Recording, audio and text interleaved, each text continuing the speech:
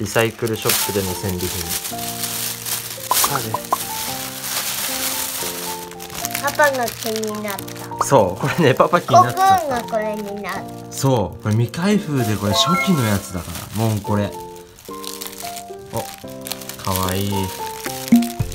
眠そうなデレデだよ。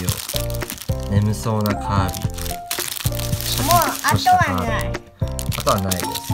自分で開けれるこれになるいいね。そうだ。開いた。おカービィのフィギュアやっとうちに来た。ははーい。ワドルディとか上にいるからと。いいね。カービィの仲間が増えていく。こっちは？この子たちは？開ける。あ来た。かわいい。枕持ってるわ本当だ。かわいい。これ多分同じだよ。シリーズ。寝てる。眠るやつ。星のカービィディスカバリーをやってからカービィに夢中でございます。はい。あ来たドドドンと。よし手が歩いてる。眠そう。あー今日も疲れた。仕事疲れたのかな。でででだいボートもあるじゃん。レゴ。いろんなものが組み合わさってる。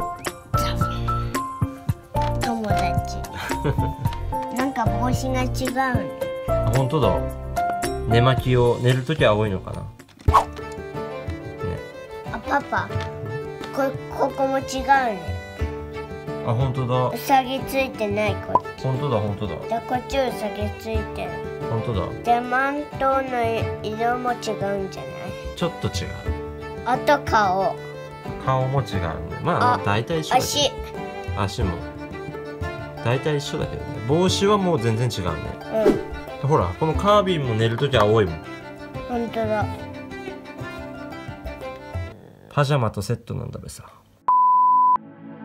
そして今回の購入品の中での目玉と言ってもいいんじゃないかと言えるこのモンスターコレクションのスピアコクーン懐かしいですね。もんこれ初期のもんこれはこうやって2個セットとかでね売られてたんですよね。本当にこの2個セットめちゃくちゃ買いました。自分。すっごいエモいですね。懐かしさが半端ないですね。でこのモンコレに関してはですね我が家で初めて、えっと、子供の了承を得てですね未開封の状態でちょっと飾っとこうというふうに、あのー許可を得ましたので開封せずにですねこの子たちはとりあえずここに置いとこうかなと。思いますね。いやーいいですね。懐かしいですね。このスピアとコクーンといえばねあの2023年1月13日のあの放送のアニポケでねサトシの腕の中でコクーンがスピアに進化するっていうシーンがありましたけれどもね。はいちょっと余談でした。飲んでるよ。はーい。かわいい。もうすぐで行くよって。アドルディのせよ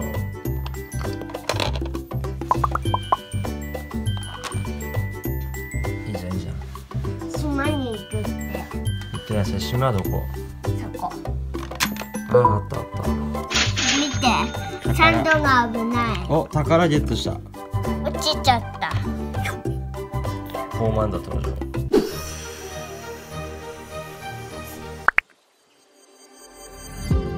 というわけで今回はカービィのフィギュア3体とモンコレのスピアコクーンが仲間入りしましたこの前列にねあの飾ってるこのポケモンのオンバーンピカチュウえジュプトルじゃなくてジュカインとドンファン。この4体はですねあの23年1月13日放送のあのサトシの最終章のねその時のお話でサトシが手持ちに入れていたポケモンですね。